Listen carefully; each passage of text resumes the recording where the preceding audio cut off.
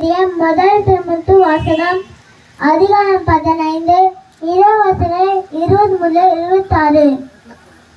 ஆனால் இப்பொழுதோ இறந்த கிறிஸ்து உயிருடன் எழுப்பப்பட்டார். அவரே முதலில் உயிருடன் எழுப்பப்பட்டார். இது அனைவரும் உயிருடன் எழுப்பப்படுவர் என்பதை உறுதிப்படுத்துகின்றது. ஒரு மனிதன் வழியாக சாவு ஒரு மந்த வழியாகவே எனதோ உயிர் பெறுவர். ஆதாமை முன்னிட்டு அனைவரும் சாவுக்கு உள்ளானது போல கிறிஸ்துவை முன்னிட்டு அனைவரும் உயிர் பெறுவர்.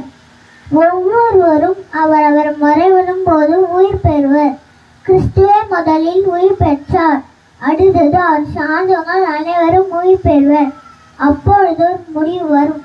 அப்பொழுது கிறிஸ்துவின் ஆட்சியாளர் அதிகாரம் செலுத்துவோர் வலிமையுடையோர் ஆகிய அனைவரையும் அழித்துவிட்டு நம் தந்தையாக கடவுளின் ஆட்சி ஒப்படைப்பர் எல்லா பகவரையும் மடி பெருமிழக்கு வரை அவர் ஆட்சி செய்தாக வேண்டும்.